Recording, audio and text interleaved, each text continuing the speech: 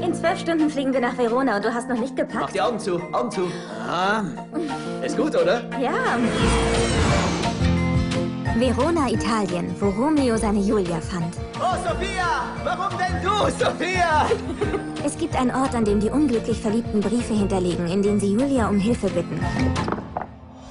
Dort fand ich einen Brief, der mein Leben für immer verändern sollte. Ich ging nicht zu Lorenzo. Ich hatte versprochen, ihn zu treffen, um mit ihm durchzubrennen. Bitte, Julia, sag mir, was ich tun soll. Er ist von 1957. Ich muss ihr antworten.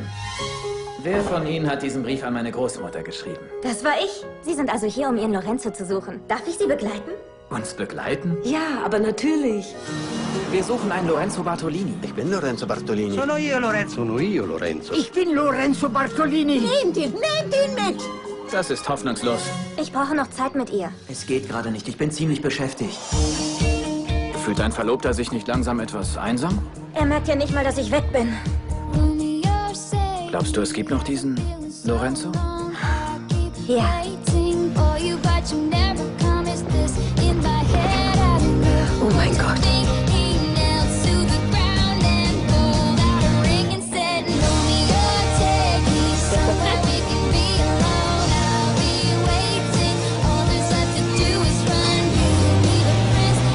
Viele Sophias gibt es auf diesem Planeten?